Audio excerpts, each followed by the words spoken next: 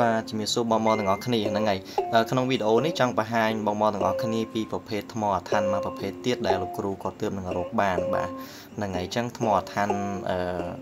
នៅក្នុងវីដេអូនេះគឺប្លែកដោយសារតែមានពណ៌បៃតងហើយច្រើនពណ៌មែនតែនសម្រាប់នៅក្នុងវីដេអូនេះណាបាទ បាទហើយភ្ជាប់ជាមួយនឹងតកតងជាមួយនឹងថ្មអឋាននេះដែរអញ្ចឹងដូចមិនដែលហៅថាថ្មអឋានអញ្ចឹងថ្មអឋានគឺជាប្រភេទថ្មដែលដូនតាចាស់ពីបរមរានបុរាណាបុរាណាចារ្យក៏ដូចជាលោកគ្រូលោកគ្រូដែលលោកមានមន្តអាគមកាលពីសម័យបុរាណលោកសូត្រសេពនៅមន្តអាគមគាថាបញ្ចុះនៅក្នុងថ្មអឋាននោះបន្តមកទៀតលោកយកទៅបញ្ចុះនៅទីទួលដែលលោក គិតថាចង់ឲ្យកន្លែងនោះទៅជាទីសក្ការៈទៅជាកន្លែងដែលស័ក្តិសិទ្ធិដូចជាវត្តដូចជាទីទួលស័ក្តិសិទ្ធិដូចជាប្រាសាទជាដើមដើម្បីធ្វើឲ្យតំបន់នោះទៅជាកន្លែងដ៏ស័ក្តិសិទ្ធិបាទអញ្ចឹងសម្រាប់ប្រភេទថ្មអឋាននេះគឺកម្រនឹងជួបមែនតែនបាទដោយសារតែត្រូវបានកប់នៅក្នុងដីយ៉ាងជ្រៅបាទ ហើយនៅក្នុងវីដេអូនេះផងដែរខ្ញុំក៏បង្ហាញបងប្អូនទាំងអស់គ្នាពីសកម្មភាពនៃការកាត់នៅថ្មអឋានដែលលោកគ្រូគាត់ទើបតែនឹងរកបានហើយសូមបញ្ជាក់ថាប្រភេទថ្មអឋាននេះខ្ញុំសូមមិនបញ្ជាក់ពីទីតាំងប្រភពដែលយកមកបានទេក៏ប៉ុន្តែគាត់នៅចង់បញ្ជាក់ប្រាប់បងបងថាលោកគ្រូគាត់ស្គាល់ច្បាស់ថាថ្មនេះជាថ្មអឋានបាទអញ្ចឹងសម្រាប់ថ្មអឋានគឺកម្រនឹងមានណាស់ហើយដែលយើងបានមកហើយហើយយើងយកមកដើម្បីសាងជាពុទ្ធរូបឬក៏សាងជាអីហ្នឹងគឺពិសេស អស្ចារ្យមែនតែនបងបងណាសម្រាប់យកមកគោរពសម្រាប់យកមកតម្កល់ទុកបាទពាក់ទៅទីចិត្តទីឆ្ងាយជួយការពារคุ้មគ្រងបាទព្រមទាំងជារបស់មង្គលមួយយ៉ាង ដែលពិបាកក្នុងការរកផងដែរមិនមែនយើងចង់បានរកឬក៏យើងនឹកឃើញថាចង់បានគឺបាននោះទេគឺមិនមែនទេបាទគឺតាមនិស័យបាទក៏ប៉ុន្តែពេលនេះលោកគ្រូរកបានហាក់បីដូចជាបងបងទាំងអស់គ្នាហ្នឹងអ្នកដែលគោរពស្រឡាញ់នៅការសាងរបស់លោកគ្រូហ្នឹងហាក់បីដូចជាមាននិស័យជាមួយជាមួយនឹងគាត់ដែរបាទ បើត្រឡប់មកក្រោយបន្តិចអឺថ្មអឋាននេះលោកគ្រូក៏ធ្លាប់រកបានម្ដងហើយហើយរូបភាពដែលបងបងបានឃើញនេះគឺជារូបភាពថ្មអឋានដែលលោកគ្រូរកបានអឺលើកទី1បាទការរកនៅថ្មអឋានបាននៅលើកទី1នោះបើខ្ញុំនៅចាំខ្ញុំសូមបកស្រាយនៅប្រវត្តិខ្លះខ្លះតាក់ទងជាមួយនឹងថ្មអឋាននេះដែលបងបងបានឃើញនេះគឺនិយាយចំទៅថ្មអឋានហ្នឹងគឺបាននៅនៅក្នុងទីទួលស័ក្តិសិទ្ធិហើយអ្នកស្រុកហ្នឹងគឺគេ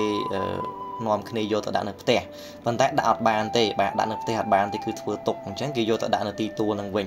បាទដល់ទៅពេលយកទៅដាក់នៅទីទួលនឹងវិញទៅអឺលោកគ្រូខ្ញុំហ្នឹងក៏គាត់ទៅយកទៅយកក៏អ្នកស្រុកគេប្រាប់អញ្ចឹងទៅគាត់ក៏បានយកទុកវិញទុកវិញទុកនៅកន្លែងដើមវិញណាបាទក៏ប៉ុន្តែក្រោយមកមានប្រសង់លោកទៅយកយកទៅដាក់វត្តបាទយកដាក់វត្តគឺដាក់បានបាទយកទៅដាក់វត្តដាក់បានក៏លោកគ្រូខ្ញុំគាត់សុំចែកពីលោក អស់រយៈកាលប្រហែលជា3ឆ្នាំទើបសុំបានបាទទើបសុំបាន ដោយយើងទៅយកពីប្រសងមកយកមកទុកនៅផ្ទះវិញហ្នឹងគឺមានកិច្ចមានការធ្វើកិច្ចមើលមានការធ្វើពិធីអីត្រឹមត្រូវបាទដើម្បីយកមកទុកសាងហើយមានបងបងជាច្រើនដែលបានថ្មអឋានវគ្គ1នោះដែលបានលោកគ្រូខ្ញុំរងចាំរហូតដល់3ឆ្នាំក្នុងការយកបាននោះបាទហើយព្រមទាំងខ្ញុំហ្នឹងក៏បាននៅថ្មអឋាននឹងផងដែរសម្រាប់យកមកទុកគោរពតខ្លួនឃើញថាពិសេសហើយអឺ ត្រជាក់ត្រជុំមែនតែនប្រភេទថ្មអឋាននេះគឺរឹងខ្លាំងណាស់ហើយនិយាយរួមទៅពេលយើងសាងជាព្រះគឺព្រះដែលចេញមកហ្នឹងគឺទៅតាមបុណ្យរបស់ម្ចាស់ បាទនេះបើតាមខ្ញុំសង្កេតឃើញណាម្ចាស់ដែលមានឋានៈបុណ្យស័ក្តិម្ចាស់នៃណាយ៉ាងម៉េចហ្នឹងគឺរបស់ហ្នឹងគឺឆ្លាក់មកគឺចេញតាមអញ្ចឹងឯងបាទអានេះបើយើងនិយាយទៅបងបងហាក់បីដូចជាគិតថាខ្ញុំហ្នឹងជ្រុលនិយមក៏ប៉ុន្តែ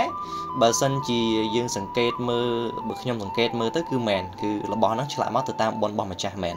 បាទហ្នឹងហើយអឺបងអូននិយាយនេះហាក់បីដូចជារៀងវែងតិចហើយចឹងបងបងក៏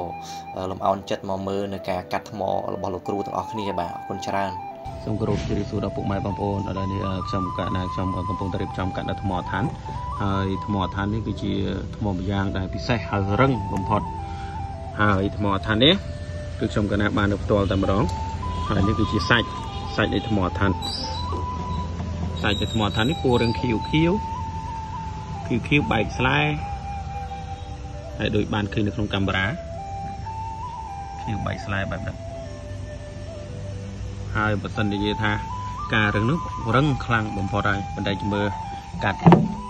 បើយើងមកឆ្លាក់ពុទ្ធរូបឬក៏ឆ្លាក់រូបអីផ្សេងផ្សេងដែរខ្ញុំកណាខ្ញុំស្រឡាញ់ហើយនឹងអាចនឹងសល់ជំរាកសល់អីជំរឿកូនសិស្សគាត់ធ្វើទៅតាមនឹងក៏សូមអរគុណ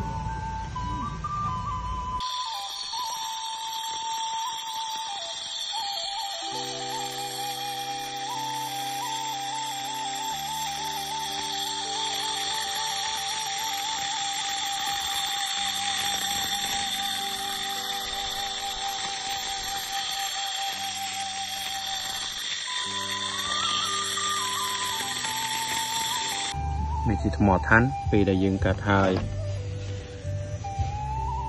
ច្រើនពណ៌មែនទែនដូចបងប្អូនបានឃើញនៅក្នុងរូបស្អាតពុកម៉ែបងប្អូនមិនមែនតែមួយពណ៌ទេ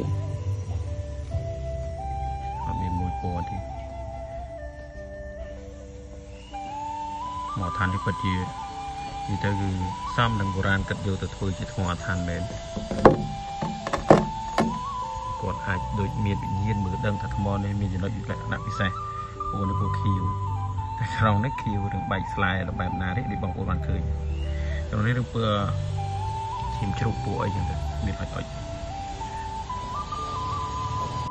បាទអញ្ចឹងដូចជាបងបងបានឃើញហើយតកតងជាមួយនឹងការបង្ហាញរបស់លោកគ្រូតកតងជាមួយនឹងថ្មឋាននេះហើយសម្រាប់បងបងដែលមានចំណាប់អារម្មណ៍ មានជំនឿគោរពស្រឡាញ់ទៅលើប្រភេទជំនឿដូនតាក៏ដូចជាវត្ថុស័ក្តិសិទ្ធិដែលកម្រប្រភេទនេះបងបងក៏អាចធ្វើការកំងឆ្លាក់ផងដែរបងអូនទទួលកំងចាប់ពីពេលនេះតទៅហើយសម្រាប់ថ្មនេះមានកំណត់ណាបងបងបាទតអស់គឺអស់ហើយអត់មានទេបាទអត់មានអឺយកពីណាជប់ពីណាចេញមកសម្រាប់ធ្វើឲ្យជូនបងបងទេ